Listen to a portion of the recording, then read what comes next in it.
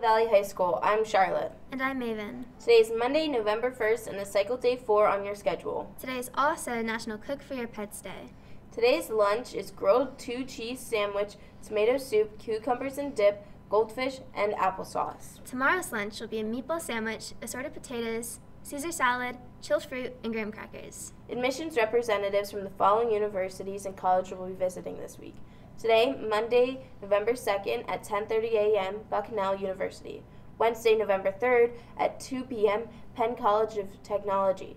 Thursday, November 4th at 10:30 a.m., Cedar Crest College. Passes to visit with these representatives can be obtained from Mrs. Shear in the guidance office. Attention girls soccer. The uniform collection will be held tomorrow, Tuesday, November 2nd, during Lynx in the Fitness Center.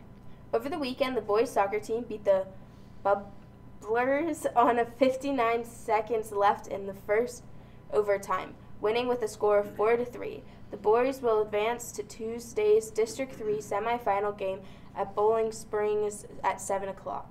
The field hockey team defeated Susquehanna Township with a score of 2 to 0 and will advance to the District 3 semifinals on Wednesday. They will face Boiling Springs at home at 6 o'clock p.m. Congrats to Ava Loddick, Aaron Grimm, and Megan Higgins Haas at the Cross Country District 3 Championship. Ava received first, Aaron 10th, and Megan 15th.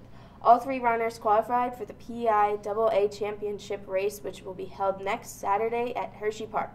Today's Snapple Cat fact is number 1,284 in the series and states that dogs can understand over 150 words. This concludes this morning's announcements for the Lynx Broadcast Network. I'm Charlotte. And I'm Maven. Have, Have a, great, great day. day.